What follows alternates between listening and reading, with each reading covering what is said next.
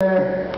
And uh, we got some board stuff, we got some art stuff, and uh, definitely go pick up Cross the Sun's new album before you leave. Only catch us, only catch us after you buy all of Cross the Sun's merch stuff. Nice. Oh,